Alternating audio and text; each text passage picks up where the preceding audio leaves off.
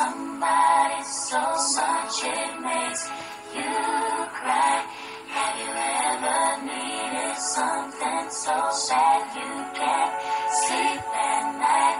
Have you ever tried to?